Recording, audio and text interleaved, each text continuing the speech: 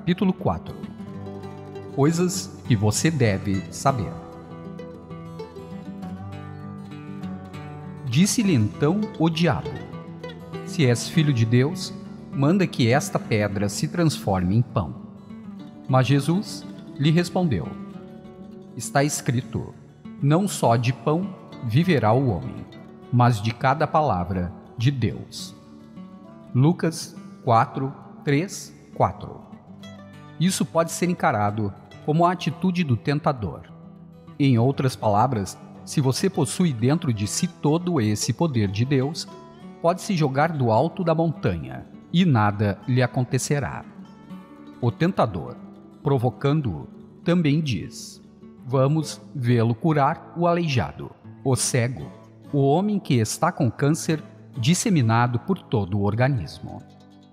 Quando você diz, devo primeiro provar para mim mesmo, está tentando projetar um estado mental que não possui. Está acalentando uma disposição à dúvida. Ao mesmo tempo, deseja expressar um ânimo de fé, de convicção. Está tentando o infinito. Está se desviando da lei da mente, a qual significa que tudo aquilo que grava no subconsciente se realiza de acordo com a natureza da impressão. A eletricidade não se curva aos seus caprichos. Opera de um potencial superior para o inferior e irá operar em seu favor quando lhe compreender os princípios. É o diabo elevando-o a uma montanha alta, mostrando-lhe todos os reinos do mundo num momento do tempo. Disse-lhe o diabo: Dar-te-ei toda esta autoridade e a glória. Se prostrado me adorares, tudo será teu. Lucas 4, 5, 7 O diabo ou Satã significa desviar-se da verdade ou julgar de acordo com as aparências. Por exemplo, se você deve visitar um amigo doente num hospital com alguma doença repulsiva e começa a recear que possa também contraí-la, seu demônio é esse pensamento negativo, suplicando-lhe para se afastar da ideia de integridade, beleza e perfeição. O espírito em você está sempre perfeito e deve concentrar seus pensamentos na presença de Deus, imaculada e pura. O homem é propenso a idolatrar o poder. Quando o conquista, fica com a ideia de que possui o direito divino dos reis e esquece a verdadeira fonte de poder. Então Jesus lhe ordenou: Retira-te, Satanás, porque está escrito: Ao Senhor teu Deus adorarás e só a ele darás culto. Mateus 4:10. Você deve dar toda a sua fidelidade, lealdade e devoção ao espírito interior, a fonte de todas as bênçãos sua segurança e proteção. Ele usou o poder sabiamente. O presidente Lincoln usou os poderes de seu cargo sabiamente. Durante a maior parte de sua vida, foi caluniado e denigrido. Muitos homens situados em altos postos tudo fizeram ao seu alcance para reduzir a reputação dele. Está acontecendo frequentemente. Homens que alcançam posições de poder e prestígio abusam do poder de que desfrutam. Começam a pensar que o poder lhes foi concedido porque são pessoalmente extraordinários, que seu julgamento é supremo e não podem jamais errar. Além do mais, não admitem interferências, mas essa atitude acaba por levá-los ao fracasso, porque esquecem que o verdadeiro poder é interior e que o homem só é grande quando se integra com o infinito e se permite tornar-se um canal para a luz, sabedoria e poder do infinito. O homem sábio como Lincoln procura a orientação e ajuda do Deus interior e não alardeia ostensivamente o seu poder diante de outros. Ao contrário, é humilde, generoso e demonstra uma profunda reverência pela divindade que molda nossos fins. Quem é o chefe? Creio que todos conhecem aquele tipo de homem que ganha uma promoção e declara: Vou lhes mostrar quem é o chefe. Todos saberão quem manda aqui. É um homem extremamente inseguro e se sente incompetente para a função. Por isso, procura compensar o sentimento de carência interior com uma demonstração ostensiva de poder, que trai, obviamente, como é na realidade. A origem e o significado da palavra diabo. A religião organizada sempre explicou a existência do mal no mundo através da invenção de um diabo. A Bíblia ressalta claramente a resposta: Eu formo a luz e crio as trevas faço a paz e crio o mal. Eu, o Senhor, faço todas estas coisas. Isaías 45, 7 Devemos lembrar as estranhas palavras. Eu, Senhor, a lei do subconsciente, endureceu o coração de Faraó. Faraó, por sua hostilidade e ódio, endureceu o próprio coração. O subconsciente reagiu à sua atitude mental. Tudo isso é muito simples quando se compreende. Só há um poder. Ouve, Israel, o Senhor nosso Deus é o único Senhor. Deuteronômio 6, 4. Não há dois, três ou mil, mas apenas um. Quando usa o único poder de forma ignorante, estúpida, negativa ou maldosa, a pessoa diz que é o demônio, Satã, miséria, sofrimento, carência e limitação. Quando se usa o único poder construtivamente, harmoniosamente, sabiamente, as pessoas classificam de Deus Alá, Brahma, saúde, felicidade, paz e prosperidade. Pode-se usar qualquer poder na natureza de duas maneiras. Pode-se usar a eletricidade para fritar um ovo ou para eletrocutar uma pessoa pode-se usar a água para saciar a sede de uma criança ou para afogá-la. O mesmo vento que sopra um navio para cima de recifes pode também levá-lo à segurança. As forças da natureza não são maléficas em si. Tudo depende da maneira como são usadas.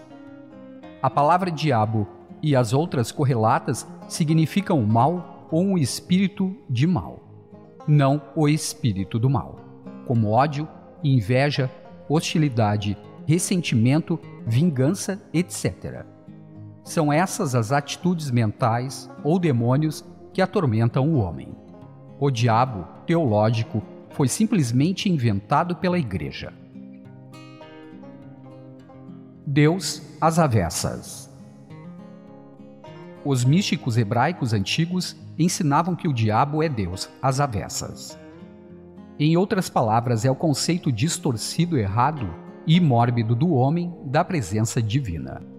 O homem faz Deus à sua imagem e semelhança e projeta suas próprias animosidades, invejas, fracassos, preconceitos e negligências em um Deus de amor. Para explicar na linguagem mais simples possível, capaz de ser entendida até por uma criança de oito anos, o diabo é Deus na medida em que é erroneamente entendido pelas massas ignorantes. O diabo do teólogo é simplesmente personificação. Não possui existência própria. O único poder. Cientificamente, matematicamente e espiritualmente, só pode haver um único poder. Se existissem dois poderes, um iria anular o outro. Não haveria ordem, desígnio simetria ou proporção no mundo. Haveria uma colisão e somente o caos prevaleceria. É um cosmos e não um caos. Em inglês, invertendo-se a palavra evil, que significa mal, encontramos live, que significa viver. Ou seja, o mal é viver a vida às avessas. O mal é se colocar contra o fluxo da vida, que se desloca para frente harmoniosamente, pacificamente, alegremente, ritmadamente. Pare de viver às avessas. Avance com o grande fluxo da vida a tendência ou vontade que sempre acarreta uma proporção maior de vida, amor, verdade, beleza e abundância. Todas as coisas, todos os processos e todas as atividades são de uma única fonte. Portanto, deve-se depreender que não pode haver qualquer mal no absoluto. Nosso mal provém da aplicação errônea, interpretação falha e ausência de compreensão do único poder. Nosso mal é nossa ignorância, estado de percepção incompleto, insistência em ver as coisas sob a luz errada. O que o homem classifica de mal nos seres humanos não chama de mal nos animais, que são governados pelos instintos naturais.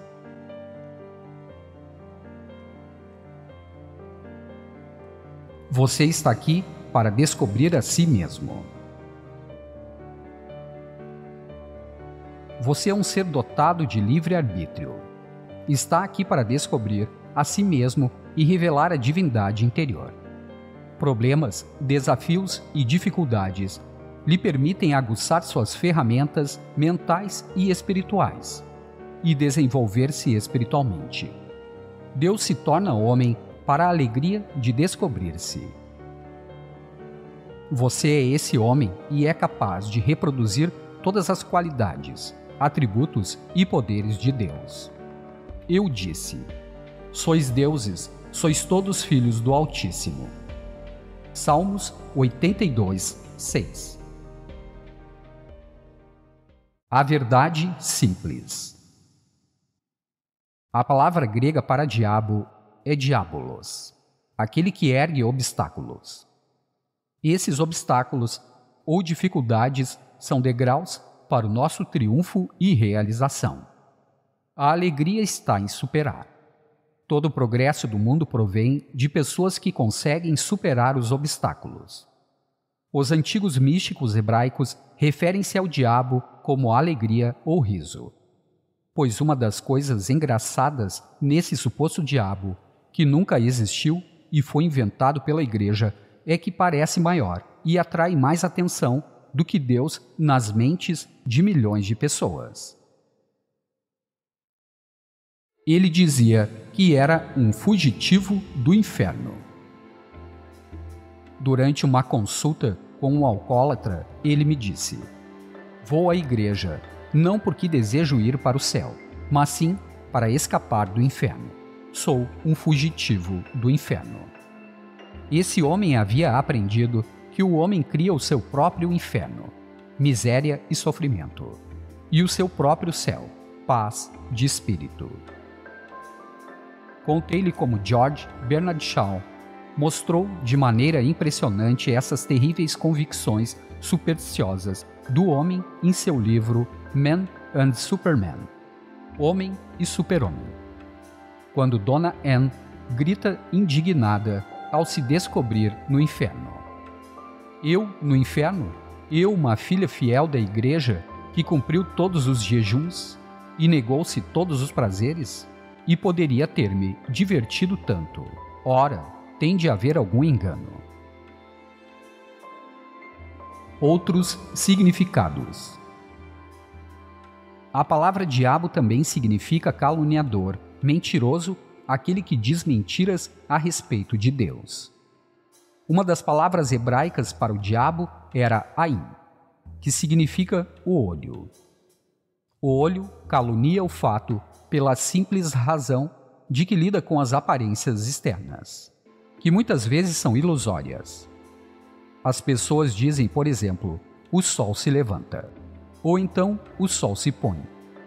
A terra é plana e o sol se deslocou ao redor da Terra. Contudo, tais coisas são completamente falsas. Não vemos coisa alguma como é realmente. Nossos olhos estão equipados para verem apenas em três dimensões. Quando se vê de maneira clarividente, percebem-se as coisas de um modo diferente. Quando se começa a ver espiritualmente e em iluminação mística, olha-se para uma árvore e avistam-se ondas de luz percebe-se imediatamente o mundo inteiro como um universo de densidades, frequências e intensidades. É por isso que os hebraicos atribuíam alegria à palavra Ain, que significa os olhos. A verdade reveladora do antigo simbolismo. Há alguns anos, num seminário no mar, tracei num quadro negro o simbolismo do diabo, como era representado pelos antigos místicos hebraicos. É uma criatura que nunca poderia ter existido. O produto da ignorância e da imaginação distorcida do homem primitivo. O diabo era descrito como tendo chifres de bode, uma cabeça de homem com orelhas de burro, asas de morcego e parte superior do corpo humana, as coxas de um animal e as pernas humanas, embora terminando em garras de águia. Se você possui um baralho de cartas, tarô desenhado por Pamela Coleman Smith, de acordo com as instruções de Arthur Edward Waite, publicado pela University Books New Hyde Park, Nova York, pode dar uma olhada no simbolismo da carta marcada Diabo. Vai descobrir que é muito divertida, esclarecedora e instrutiva. Asas de morcego significam trevas e ignorância crassa. Os chifres são os de bode e há a sugestão de que não existe espinha dorsal. O que significa que as propensões e paixões animais do homem não são controladas, subjugadas e sublimadas espiritualmente como deveriam ser. O homem está aqui para caminhar ereto. Na lei, quando a espinha dorsal está curvada, ele não pode ficar nem caminhar ereto. A cabeça tem orelhas de burro, indicando a obtusidade e obstinação do homem, que se recusa a dar atenção à orientação do poder e presença infinitos dentro dele. A parte humana do corpo é tosca, indicando a ausência de graça, beleza e ordem divina. As coxas são de animal, indicando paixões e apetites animais, como luxúria, ganância, etc. Ele é compelido pelo instinto e não por impulsos espirituais, que estão adormecidos dentro dele. O homem está aqui para despertar o dom de Deus interior. As pernas são humanas. Representam e indicam que as paixões animais estão levando a parte humana, ao invés do contrário, como deveria ser. As pernas terminam em garras de águia. Trata-se de um simbolismo sutil e indica o mau uso do impulso sexual, como todas as aberrações e perversões sexuais. O pentagrama, por cima da cabeça, está invertido. A estrela de cinco pontas simboliza o homem de mentalidade espiritual. Repousa sobre duas pontas, o consciente e o subconsciente, harmonizados e equilibrados. Aqui, no entanto, a estrela está apoiada apenas em uma ponta, indicando que o homem está completamente desequilibrado e chafurdando em emoções negativas e sensações destrutivas. A tocha simboliza que ele está constantemente inflamando suas paixões na direção de desvios sexuais. O ombro esquerdo da mulher na carta está faltando, enquanto o ombro esquerdo do homem está desenvolvido a proporções acima do normal. O ombro são os índices de emoções e as emoções servem de instrumento às sensações anormais, privando a si mesmo de vitalidade, entusiasmo e energia. O homem e a mulher representados na carta têm chifres, cascos e rabos, significando que estão vivendo com suas paixões e apetites animais. O rabo tem o formato de cauda de um escorpião um símbolo da fertilidade e anormalidade sexuais. O cacho de uvas indica que o subconsciente expressa o que nele é gravado, ou seja, o desejo da mente consciente, quando impregnado no subconsciente, produz o fruto e resultado do que foi imaginado. O diabo tem um umbigo, como também tem o homem e a mulher. Isso revela toda a história e é um símbolo profundo e sutil indica que todos são criados pelo homem. Por tudo que acabei de descrever, você pode perceber que o diabo é o próprio homem, na medida em que usa erroneamente a lei e orienta para o caminho errado a força vital concedida por Deus. Não é de admirar que os místicos hebraicos dissessem que o diabo é Deus às avessas. Aprenda a exaltar Deus em você. Cada vez que se sentir propenso a criticar, aviltar ou rebaixar a si mesmo, afirme imediatamente: Exalto Deus em mim. Não se pode pensar em duas coisas ao mesmo tempo. Na medida em que continuar a exaltar Deus em você, regularmente, sistematicamente, está injetando essa ideia no subconsciente.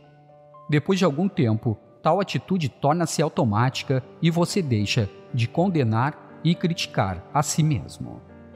É importante, no entanto, acentuar a dignidade e respeito, porque o autorrespeito é o maior bem do homem. Não se pode comprar respeito. Alguns homens pensam que pode comprar respeito e dignidade. Não podem. Vou dar um exemplo o falecido Mussolini sabia que não tinha a dignidade de Haile Selassie, que era um rei e chegou a Londres exilado como um rei, dizendo: Sou um rei e voltarei à minha terra como um rei e conquistador. Mussolini teria adorado poder contar com a mesma honra e prestígio, mas não o sentia e não podia reivindicar tal coisa em sua consciência. Haile Selassie sentia a honra e dignidade em sua mentalidade e as acolhia devidamente.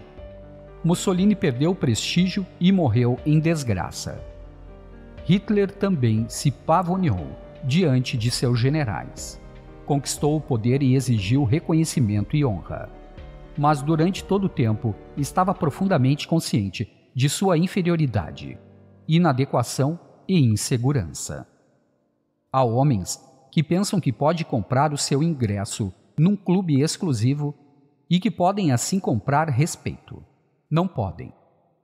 O garoto de recados, o garçom e o porteiro respeitam mais o sócio do clube que mal consegue pagar a mensalidade, porque ele tem a consciência de ser um homem digno e exige respeito por isso. Tal homem está consciente do ego divino, interior e de seu domínio no reino da mente. Caminhe pela terra como uma rainha.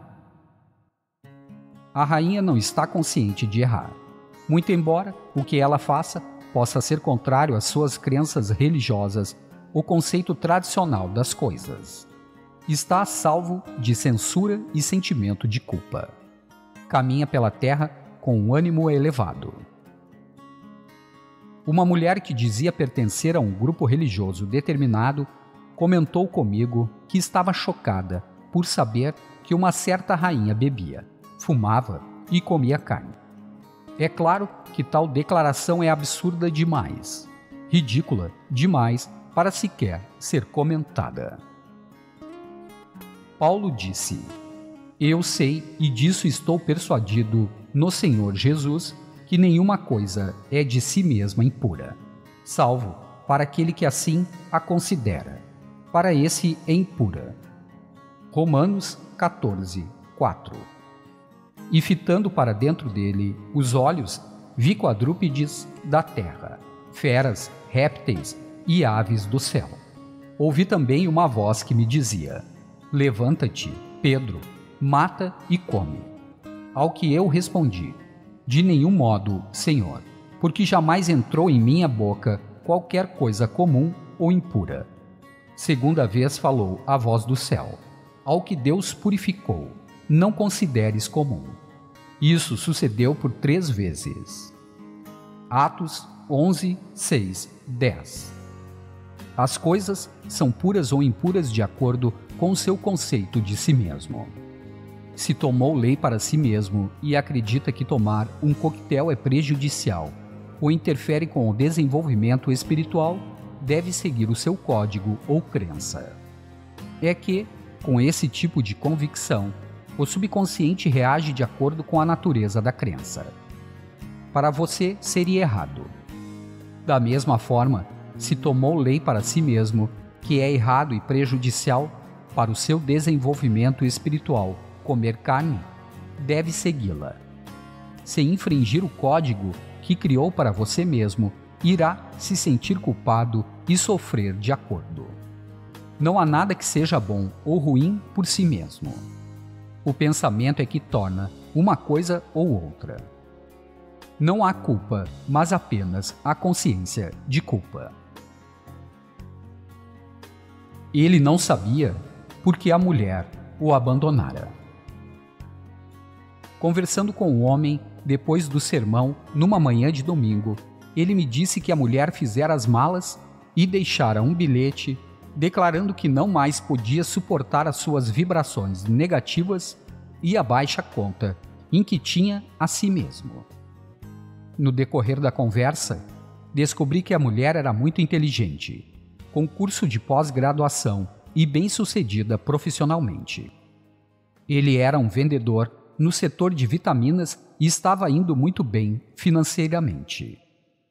A verdadeira causa do rompimento conjugal era o fato de ele achar que não era bom o bastante para a mulher, pensando e temendo constantemente que ela fosse encontrar alguém melhor. Todas as noites ia dormir com esse ânimo de medo e o subconsciente lhe devolvia o que ordenava e solicitava, pois jamais comete qualquer erro. Na verdade, ele fazia com que tudo acontecesse por causa do seu medo. Aquilo que temo me sobrevém, e o que receio me acontece. Jó 3, 25 A mulher refletia a concepção que ele fazia de si mesmo e confirmava o seu estado de consciência. O ânimo de autodepreciação e inferioridade, somado à convicção subconsciente de que ela o deixaria, comunicara-se à mulher subconscientemente. Não conhecendo as leis da mente e não sendo espiritualmente orientada, ela reagira de acordo. Por sugestão minha, o homem telefonou para a mulher e explicou o que estivera fazendo, declarando que era tudo culpa sua. Estão agora reconciliados e praticam a terapia da prece pela manhã e à noite. Todas as noites antes de dormir, ele afirma em voz alta: O espírito em mim fala com o espírito de minha mulher, e há harmonia, amor, paz, alegria e compreensão entre nós. A luz de Deus brilha nela. Sempre que penso nela, imediatamente afirmo: Exalto Deus em você. Sempre que estou propenso, por causa do hábito, a me rebaixar e depreciar, afirmo: Exalto Deus em mim, sou filho de Deus e Deus me ama e cuida de mim. Da mesma forma, todas as manhãs a mulher declara em voz alta: Meu marido é homem de Deus, saúdo a divindade nele a paz, amor, harmonia e compreensão entre nós.